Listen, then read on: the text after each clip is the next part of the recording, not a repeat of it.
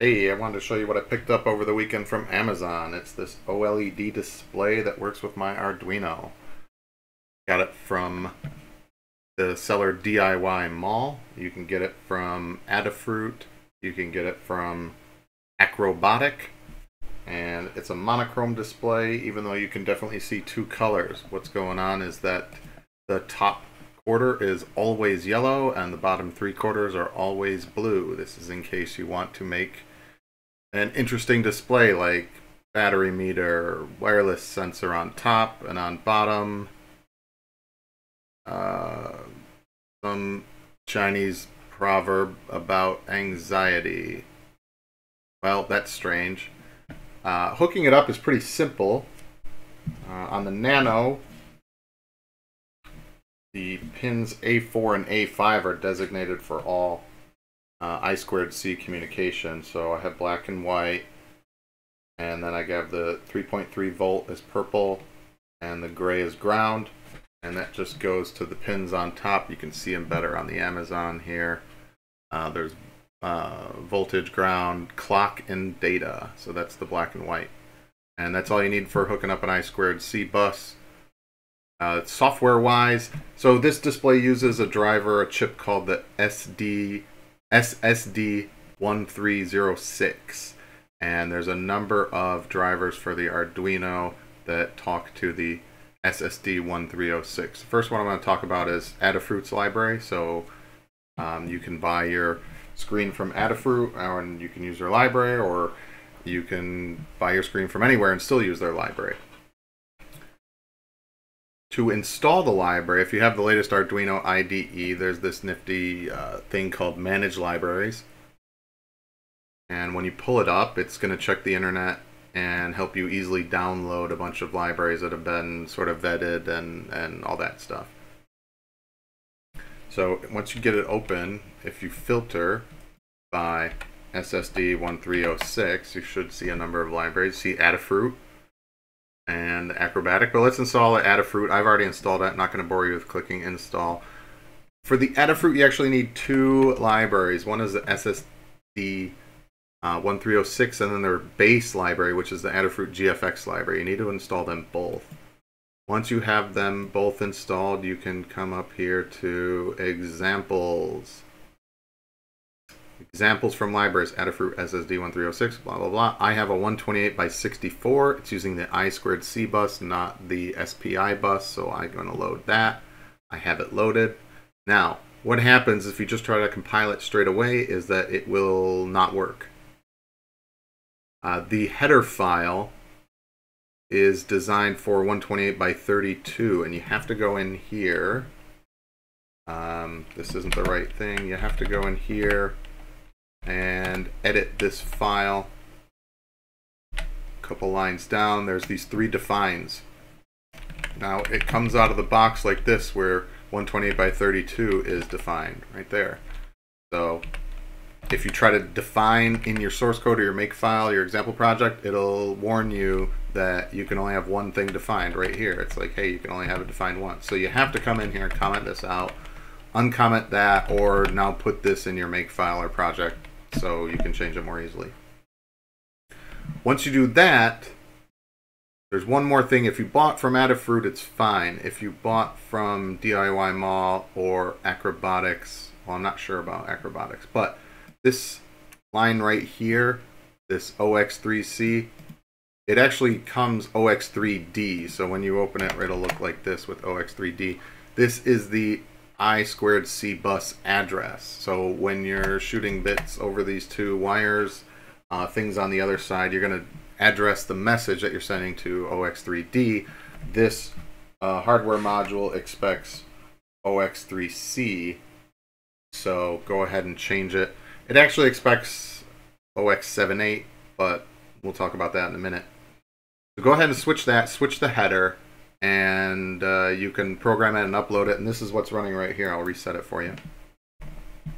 As you can see it takes up this example program takes up 70% of the storage space 77% memory. Uh, a lot of that is the code that's doing what you see before you drawing the lines and all that stuff. So it's it's not uh, it's not ideal for an Arduino Nano or something like that. You may need to um, use a bigger uh, Arduino device if you want to use this library. It's very nice. You can see it's doing rounded boxes, uh, triangles. It's very easy to draw shapes with it. You can see the source code is, you know, fill circle, round rec, uh, all this stuff. Well, that's their function, but look at the library functions itself. Uh, draw char, draw circle. It's very easy. Display, draw circle, width, height, color. Obviously, this is monochrome display, so everything's going to be white. Again, even though it's showing up as yellow and blue. That's uh, baked into this display. Uh, interesting thing about this uh, library is, uh, again, it's split up into two parts. So this Adafruit SSD 136 is actually a subclass of their basic GFX. The basic GFX has all the draw a line, draw a circle, whatever, and then this subclass has the more interesting bits that are related to um, uh, related to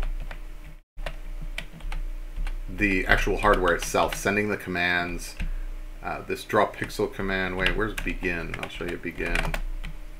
So the begin has, um, if you've previously set it up with uh, SPI mode, it can talk over the SPI bus as well, this library. So if you've previously set it up for the SPI mode, it's going to execute these commands.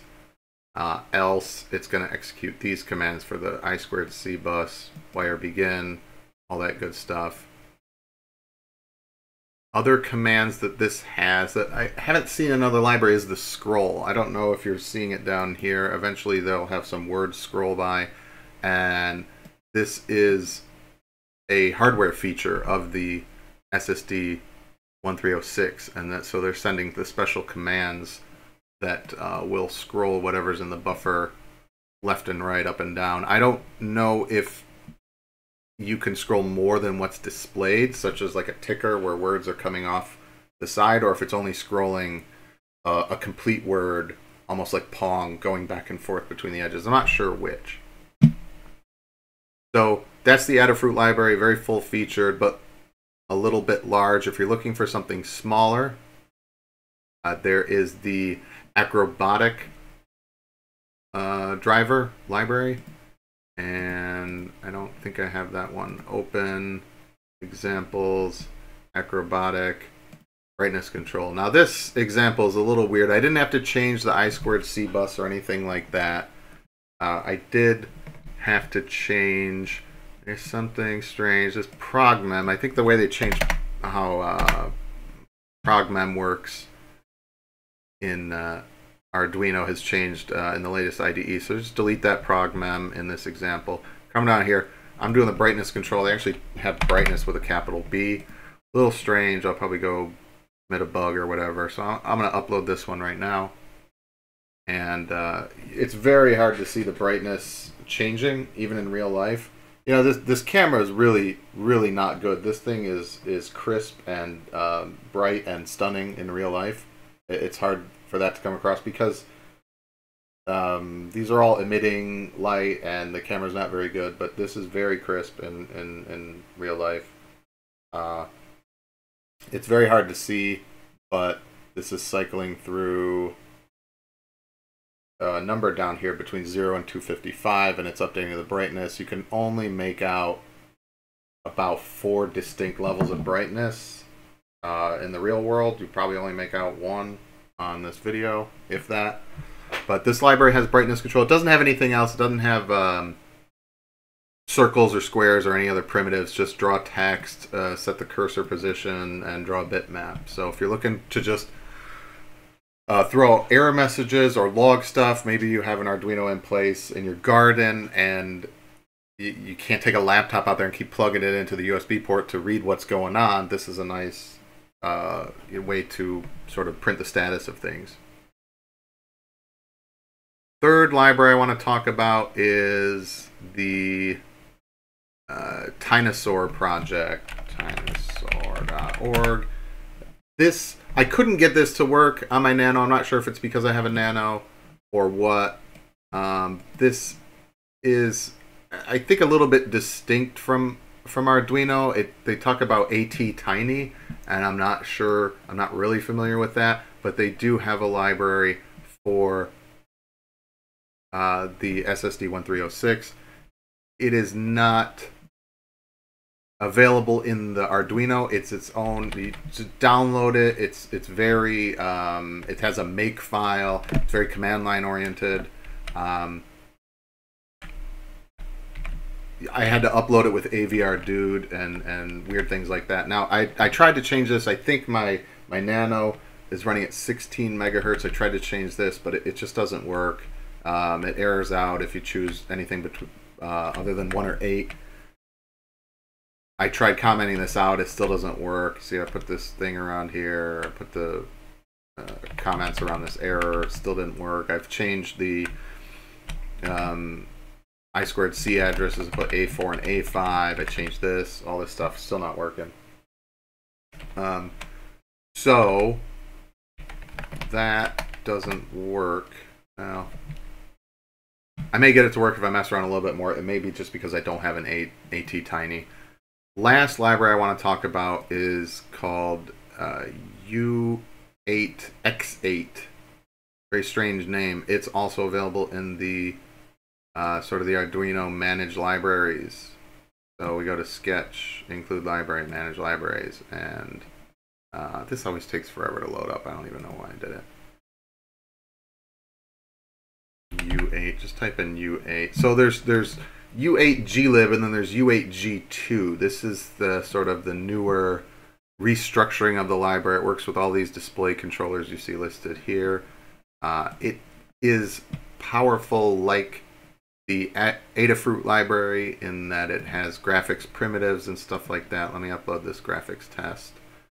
Uh, the the uh, interesting thing here is that they give you all the all the um, you don't have to go in and change any H files or set your uh, I squared C address. They just give you every single um, what do you call them uh, constructor available right here in the sample. So you just find what you're doing. Now I have a 128 by 64 no name software I squared C. Now there's two of these uh, SSD 1306. There's two of these. One has pins 1311. One has pins SCL and SDA. I know that I've set my board type to a nano, so these pins SCL and SDA are defined as A4 and A5 respectively. Maybe you can't see that. This over here. So this is uh, got A4 and A5. I didn't pick the 13 and 11 one. It also doesn't have a reset pin, so there's this constant pin none, which is special. So it's a different way of doing it. Instead of having to go in, like in the Adafruit library, there's all these options, but there's no sane defaults. They can't assume that I have a 128 by 32 because I might have a 64. So this is a different way of doing it where they just say, here's all the options. You pick one, and you're picking the options with a specific uh, constructor function. Sort of interesting. Now this is done uploading and you can see here's this little graphic test. Again, it looks really crisp and bright in real life. It looks all blurry on this video. Um, so it's drawn squares. Now again, this is a feature of this one model. This model comes in just white, but it's got the yellow on top, then it has a one pixel break, and then the rest blue. I believe that one pixel break is not drawable. If you saw that that um, time moving up, it had it was 230, it was 2 colon 30.